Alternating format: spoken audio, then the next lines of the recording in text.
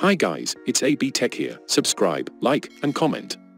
So, the Galaxy Z Fold 3 is next in line to the Galaxy Z Fold 2.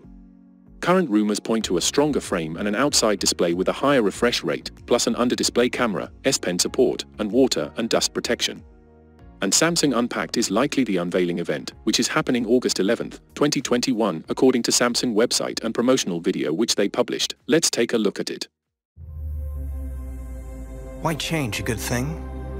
Good question. This was once a good thing. This was also once a good thing. But at some point, they've all changed. For the better.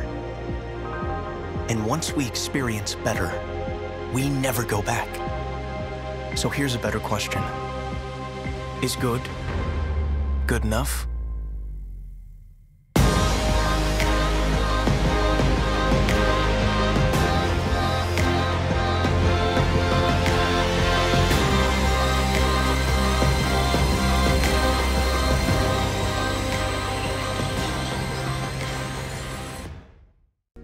So, there's a chance the Galaxy Z Fold 3 5G will be $1,999, the same starting price as the Fold 2 5G. Of course, this is a hefty price tag and likely prevents many people from feeling comfortable putting down that much. It's possible, however, that we'll see a healthy price cut given other foldable phones on the market with which Samsung must now compete.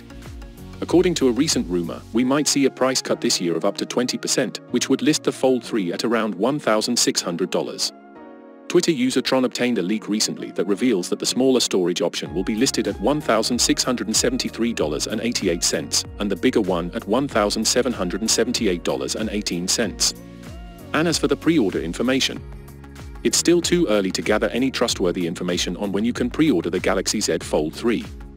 However, as soon as Samsung announces the phone, we'll know exactly when you can start pre-ordering. In the meantime, you can reserve a Galaxy Z Fold 3 now. This will sign you up for an email notification as soon as pre-ordering opens up. Reserving also lets you set up any trade-ins you plan to do, obtain an extra $100 trade-in credit, and prepare a payment method so that your pre-order goes through even faster.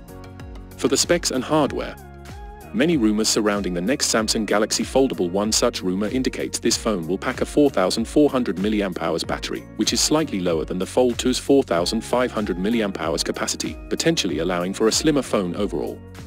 It's unclear how or if Samsung will make up this capacity, but it could in the form of software optimizations. The phone will purportedly come with dual 120Hz displays. The Fold 2 also supports a 120Hz refresh rate but only on the main, folding screen, meaning this year's foldable should look smooth no matter which screen you're using. It looks like the main display will be 7.6, which means it'll be unchanged from the Fold 2.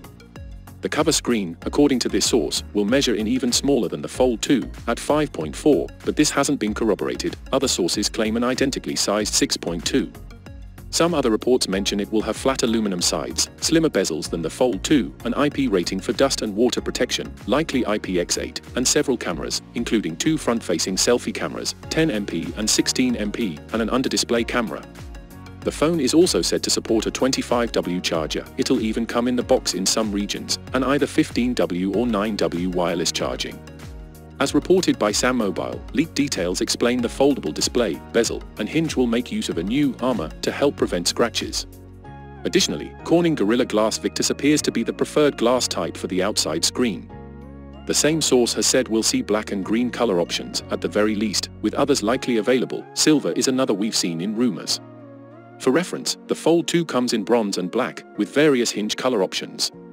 256GB is the smallest internal storage capacity you can get with the Fold 2, and we expect that to remain unchanged for the Fold 3. However, there will likely be a 512GB option in some markets. As for RAM, expect 12GB and 16GB models. The phone will ship with Android 11, to follow in line with most modern smartphones, including the Fold 2, it goes without saying we'll see a 5G version of this phone as well, presumably with the Qualcomm Snapdragon 888 Society. Thanks for watching, and don't forget to comment the country you are watching from, subscribe, and like. See you in my next video.